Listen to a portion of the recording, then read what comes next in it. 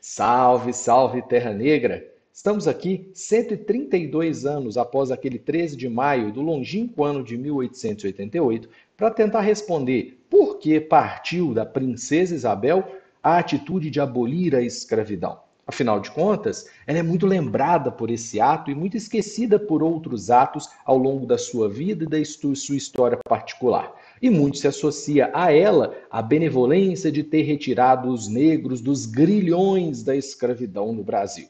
E para a gente chegar a uma hipótese de por que a princesa Isabel resolveu tomar a atitude de abolir a escravidão, vale a pena só revisitar sua história, para que você entenda quem foi essa tal princesa Isabel. Vamos lá. A princesa Isabel, para começo de conversa, foi aquela que tinha o direito de ser a primeira na linha sucessória ao trono brasileiro. Se Pedro, o primeiro, fez o primeiro reinado, Pedro, o segundo, esse que você está vendo na tela, fez o segundo reinado, não teria um Pedro III nessa história, e sim teria Isabel, uma das suas duas filhas. Aí na imagem você vê Pedro II, sua esposa Teresa Cristina e suas duas filhas, Isabel e Leopoldina.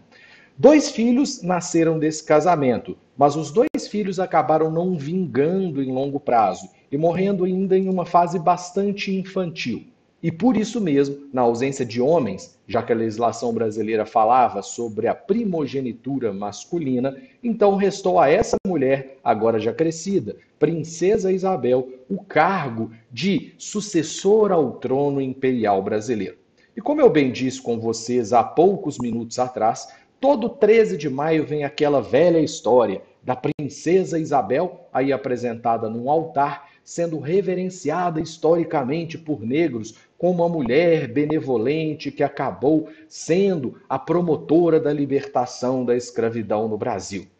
É, vamos voltar aqui para a gente bater um papo e conversar um pouquinho, mas essa imagem da princesa Isabel, ela inclusive corrobora aquela imagem da princesa benevolente. Em geral, nas famílias reais, como as princesas, tradicionalmente na história, já que hoje é uma outra conversa, elas quase sempre eram ofuscadas pela figura masculina, elas precisavam arrumar uma forma de aparecer socialmente. E, em geral, essa forma de aparecer vinha com trabalhos sociais. E aí a gente já chega à primeira das tentativas de resposta não tinha ninguém melhor do que a princesa do Brasil para poder fazer esse ato maior de graça aos negros, óbvio, numa visão oficial, que era libertá-los da escravidão. Mas aqui vale a pena comentar sobre uma outra questão com vocês. Vamos lá. A primeira delas, ou não a primeira, mas a segunda delas, é que havia no Brasil, como todo mundo deve imaginar, uma resistência muito, mas muito grande em torno do reinado, mais uma vez, dessa mulher aí na fotografia, que era Isabel. Afinal de contas, ela seria a primeira imperatriz do Brasil. Ela seria aquela que sentaria no trono dos dois imperadores anteriores, Pedro I, seu avô, Pedro II, seu pai, para governar todo um Brasil, que era para não dizer que é um país bastante masculinizado e para não dizer machista na essência do, do, da coisa.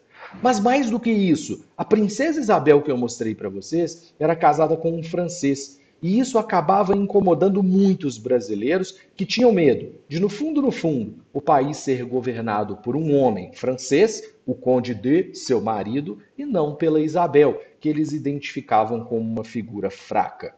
Daí vai nascer a hipótese central que vamos analisar nesse vídeo. Pedro II, já bem envelhecido ali perto de 1888, teria então tido uma genial ideia. Para emplacar minha filha, para emplacar um terceiro reinado e para emplacar a sentada dela no trono de uma vez por todas, que tal fazer um ato ultra popular no Brasil? É estranho falar ato ultra popular quando falamos sobre a abolição da escravidão, mas é porque em 1888, vamos dizer assim, que os movimentos abolicionistas no Brasil já estavam pegando fogo.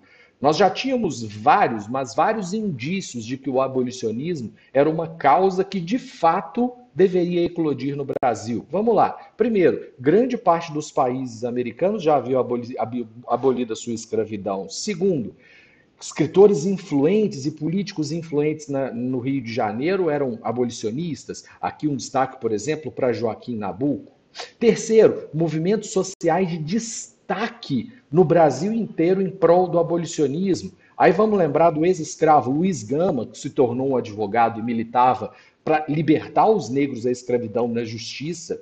Aqui vale lembrar também do Dragão do Mar, lá em Fortaleza, Ceará, que liderou um movimento de greve dos jangadeiros que se recusaram a levar os escravos da costa para os navios, já que do Ceará saíam vários escravos para o sudeste, e isso inclusive forçou o governo cearense a abolir a escravidão em 1884, ou seja, quatro anos antes da escravidão no Brasil. E, e mais do que isso, Pesa o fato de que em 1888 a escravidão no Brasil já estava virtua virtualmente abolida. Já tínhamos tido a Lei de Eusébio de Queiroz, que proibiu o tráfico África-Brasil, a Lei do Ventre Livre, que tornou as crianças nascidas a partir de 71, 1871 livres, é, crianças nascidas do ventre escravo, obviamente, e em 1885 a Lei do Sexagenário, que libertou os escravos com mais de 60 anos. Então, em 1888, Pedro II teve, a, talvez, nessa hipótese, a genial ideia de pensar: putz, a escravidão está virtualmente abolida.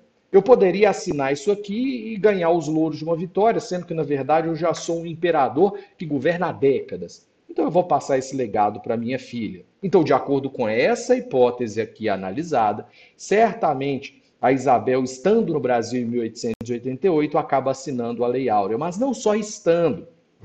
Naquele 13 de maio de 1888, longínquo, como eu disse, há 132 anos atrás, Isabel estava não só no Brasil, mas estava sentada no trono do imperador, porque o seu pai, Pedro II, não morrera, mas estava bastante doente e, por recomendações médicas, foi fazer um tour, uma turnê pela Europa para respirar os bons ares europeus. E especificamente naquele dia, dia 13 de maio, ele estava na cidade de Milão, e já com a distância, a Isabel, com os holofotes todos ao seu redor, aproveitou para assinar aquela lei, a lei de ouro, a lei áurea, que tornou de uma vez por todas a escravidão ilegítima no Brasil.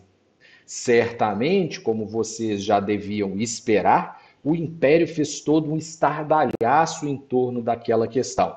Eu já mostrei para vocês, por exemplo, vou mostrar de novo, uma imagem veiculada da época em que mostra uma família de negros reverenciando a autoridade daquela mulher benevolente, sem contar aqueles outros lá, lá atrás que estão chegando para depositar flores na frente da sua imagem. Mais do que isso, naquele mesmo ano de 1888 foi celebrado no Rio de Janeiro uma grande missa campal com a presença da própria Isabel, num altar central onde as pessoas foram à loucura. E digo as pessoas, principalmente eu estou analisando do ponto de vista dos populares. Eu estou ignorando o ponto de vista dos poderosos que acabaram não sendo remunerados exatamente com a abolição da escravidão. E, por fim, ainda podemos destacar a construção de várias estátuas, de vários monumentos em homenagem a Isabel. E nesse que vocês veem, inclusive, é uma estatuetazinha que fica no Museu Mariano Procópio, na cidade de Juiz de Fora, a gente vê um negro prostrado, ajoelhado diante daquela mulher benevolente com a lei áurea nas suas mãos. Obviamente, sabendo que todo mundo tem noção de que se trata de uma história oficialoide, é, criticamente, analisando do alto do século XXI, a gente olha para isso e dá quase risada ao pensar numa história que simplesmente foi embutida na cabeça dos brasileiros. Mas pasmem, Isabel de fato construiu uma grande imagem com a população brasileira, com o populacho, em que grande parte dele era simpático ao abolicionismo. E só aqui um parênteses, a gente não quer ser muito crítico nesse vídeo, já que fomos do, do ano passado, você pode até clicar no card aqui em cima para poder analisar uma visão mais crítica sobre a abolição da escravidão, mas certamente a gente sabe que, sob esse ponto de vista, a população estava abraçando Isabel, porque essa população, essa mesma população, não necessariamente era a favor da integração dos negros na sociedade, mas entendia que a abolição da escravidão era uma modernização a ser trazida para a sociedade brasileira. E o mais interessante é que, apesar de todo esse sucesso e da promoção da imagem de Isabel como a grande princesa da família imperial, o império acabou meses depois. Dom Pedro II, Teresa Cristina, Isabel, Leopoldino, todo mundo foi enxotado no Brasil no 15 de novembro de 1889. Repito, 15 de novembro de 1889, pouco mais de um ano depois da Lei Áurea. E todos os membros da família real foram forçados, num golpe, a deixar o Brasil rumo à Europa. E aqui vem aquela velha questão, né? Será que a monarquia acabou caindo no período mais popular que ela teve? Se não dela, no período mais popular que a herdeira Isabel teve? Isso revela, inclusive, muita coisa para nós. Isso revela como aquele golpe do dia 15 de novembro de 1889 foi de fato uma quartelada surgida dentro do exército e com apoio não do povo brasileiro, e sim das elites que já estavam bastante incomodadas com a inércia econômica de Pedro II. Mas aí já é uma outra história. Contamos hoje uma das versões do porquê a princesa Isabel teria abolido a escravidão naquele 13 de maio. Um abraço, até mais, tchau.